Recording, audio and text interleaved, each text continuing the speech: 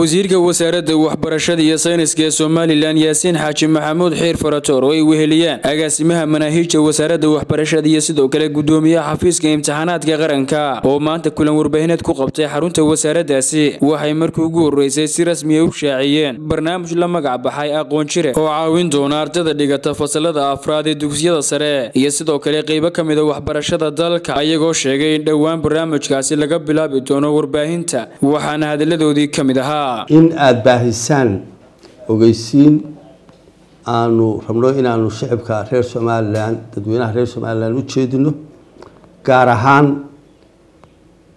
ardada iyo waalidka iyo waalidkooda ardada dhigata fasalka afraad ee dugsiyada sare oo imtixaankii shahaadiga ahaa uu ku soo dhow yahay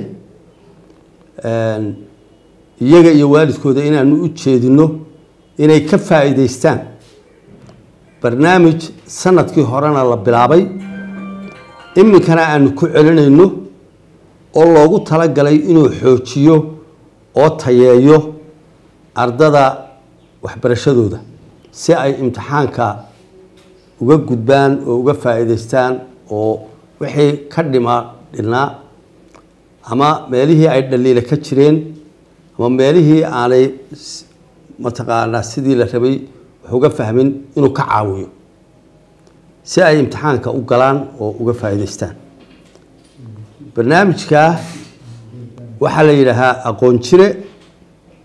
Sida aan u soo sheegayna barnaamijka waxaa loogu talagalay inuu kaabo oo xoojiyo oo tayeeyo ardada wixii ay soo dhigteen iyo manhajkii ay soo dhigteen ee sanadka afraad iyo sanadka saddexaad barnaamijka khaas ahaan gaar ahaan waxaa loogu sii talagalay ardada aan fursad u haysan ama helin macalimiin wanaagsan ama bugaag wanaagsan ama qalab waxbarasho oo wanaagsan sida laababka iyo wixii la mid ah barnaamijku wuxuu bilaabmi doonaa berito maalinta berita ah oo maalin ah arbaco ah oo bisha sideed iyo tobankeeda bishan april ee aynu ku jiro. Ilaa iyo dhammaadka iyo dabayaaqada bisha juunna wuu socon doonaa. Waxaa ardada lagu dhiirigelinayaa waalidkooda lagula talinayaa inay barnaamijka ka faa'iidaystaan. Barnaamijkaasu wuxuu si joogtaa uga socon doonaa t v-ga la yidhaahdo bulsho barnaamijkaasi wax weyn buu soo kordhiyo runtii. Lababa uu soo kordhiyo sidii carabka imika wasiirka aynu ka maqlaynay tuulooyinku inta badan way ka fog yihiin. Macalimiintii wanaagsanaa badidooda de takhasuska maadooyinka ahaa inta badan tuulooyinka ma joogaan. Xataa degmooyinka gobollada ku yar yihiin waxay u badan inta badan caasimadaha magaalooyinka waaweyn.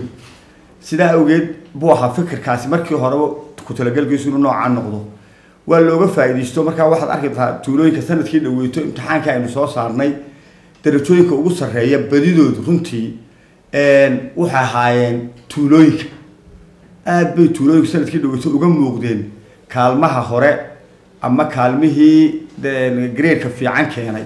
Barnaamij walo la dagaalankii tiitinka ahaa iyo barnaamijkan tayeyntii labaduba sidoodiibay runtii u socon doonaan.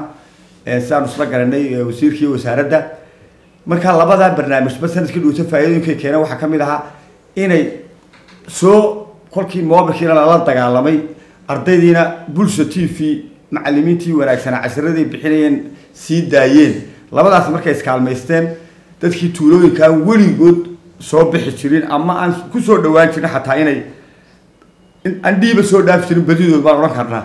Ayaa sannadkii dhaweyto kaalmaha koowaad gelayay waktigan xaadirkaa waxay noo hadhay waa siduu wasiirku sheegay waxaan ku rajo weynahay inuu imtixaanku inoo noqdo bish dhammaadka juun waa ku talagalkeena hadduu ilaahay idmo ilahayna saasaan ka rajeynaa inuu noogu dhammaado.